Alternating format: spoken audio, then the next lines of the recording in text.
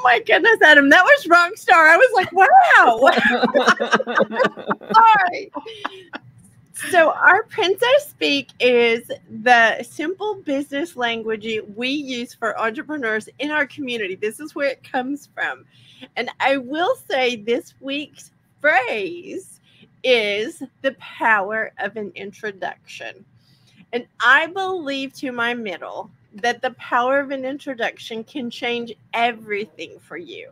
Being introduced by someone changes how people see you. It causes you to have a bit more street cred, which allows you to be viewed as an authority and someone who is worth mentioning. Introducing someone can change how people see them and you. I believe very much in giving that power to our community by introducing them and I also believe very much in helping them learn how to share that power for others.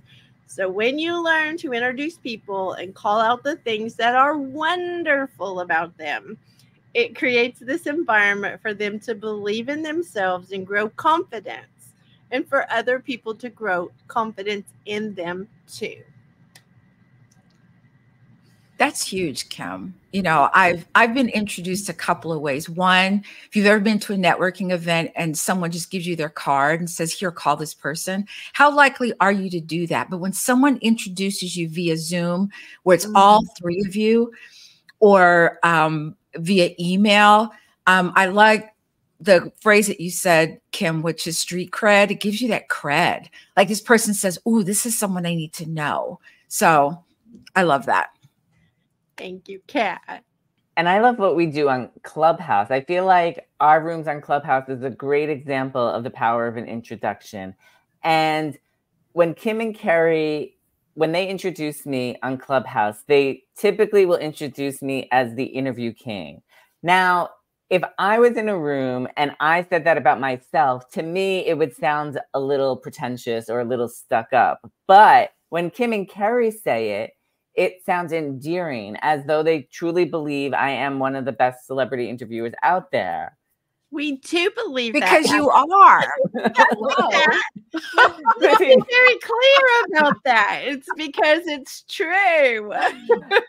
so that is why the power of an introduction they can they can say things that maybe you don't feel comfortable yourself saying or you don't like how it sounds but when someone else says it it sounds amazing and it it sort of elevates you when somebody is introducing you and it already makes people look at you differently and mm-hmm. feel comfortable about you because you have the testimonial or the and the words they're using behind behind you I love that you used the word elevate. Let me just say that really quickly. That is a great word because the power of an introduction does elevate you.